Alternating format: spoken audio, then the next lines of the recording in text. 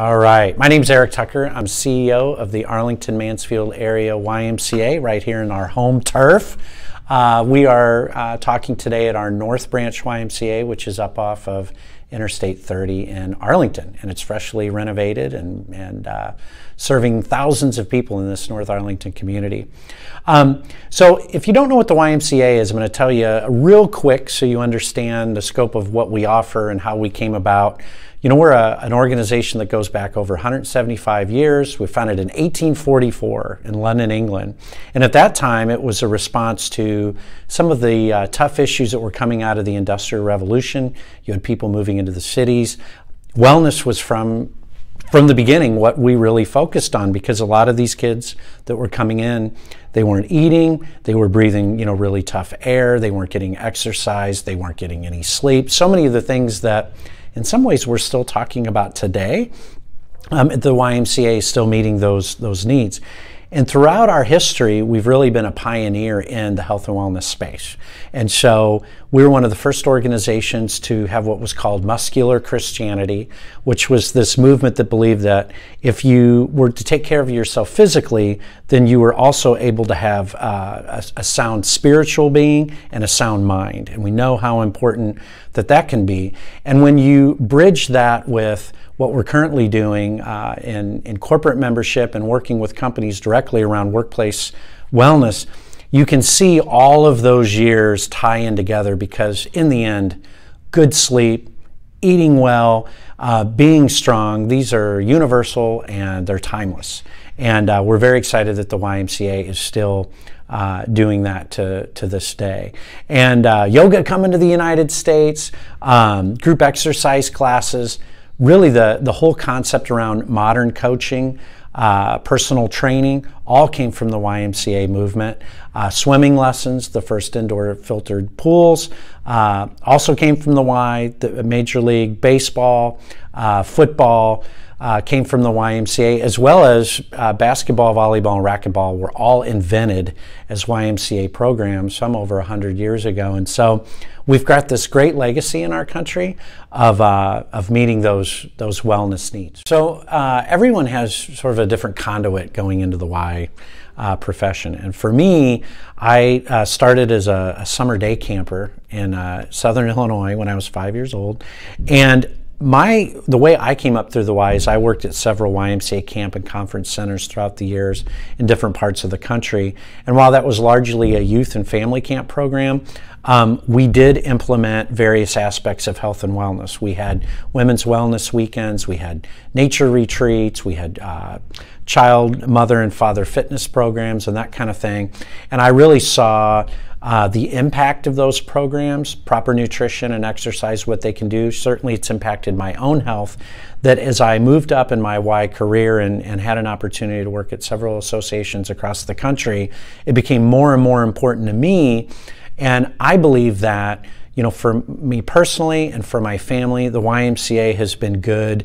Uh, you know, from a, a, psychological perspective, you know, it's a, a, great place to work. It's an energizing place to work. You feel really great about that and then it you know it it makes life better when you can you can move around when you're mobile when you're healthy um, and when you can take that personal experience like i've had uh, and with my family as well and you can help promote it in the community then uh, that's an even better thing to feel great about uh, i love it kind of things i think though the call for the ymca in particular is much different these days because of you know, kids and their uh, willingness, unwillingness to go outside, to, to play with each other together. Uh, you know, social media has taken up so much more of their time. And so the, the mission of the Y uh, has been redefined in some ways in serving kids we want to get them outside or in uh, different programs and, and, services that they're interacting with each other and they're not over, you know, in a digital space. And then you have all the issues that are related to chronic disease. Uh, you know, diabetes. Kids have never been heavier as far as their body weight.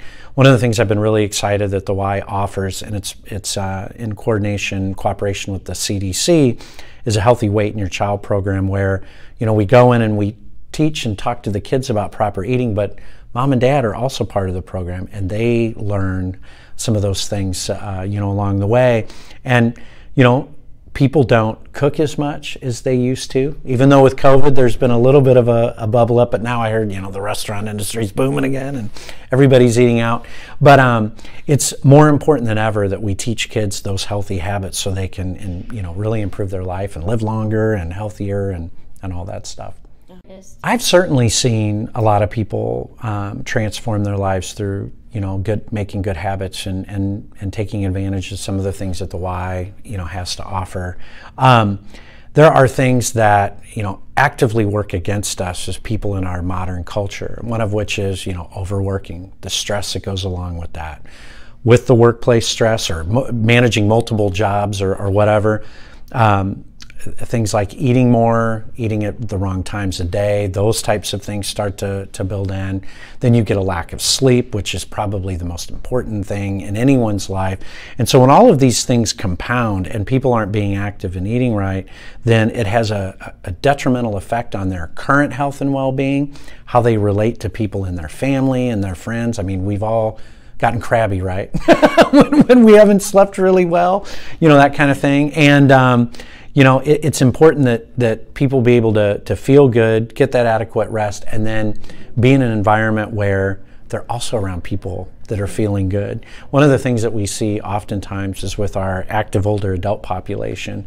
Um, and these are generally people that are Medicare age.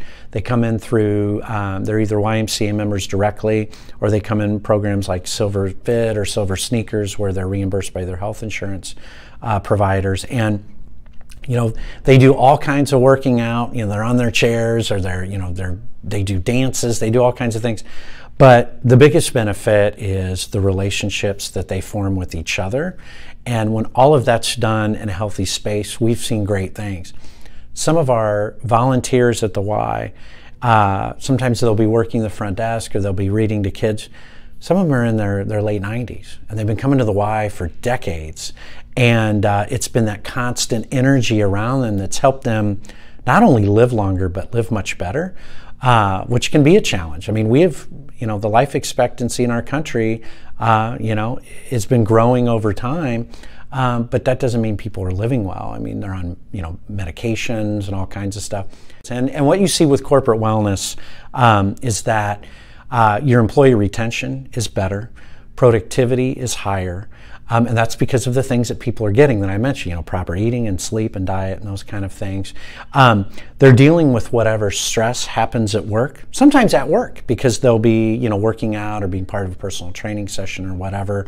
Um, what we really try to do too is recenter people to thinking um, in a way that puts them in a healthy mindset as far as, you know, when, when you are um, committed to an exercise program or an eating program, that's where you get the results. And when a company backs that and says it's important, um, it becomes important for the employee too. It keeps healthcare costs down, which is great. Certainly improves um, employee morale. And then there are all kinds of studies about better decision making, you know, more cohesive team building, you know, within um, a group, better time utilization, those kind of things. And so uh, it's good business for companies to care about their employees' health for sure.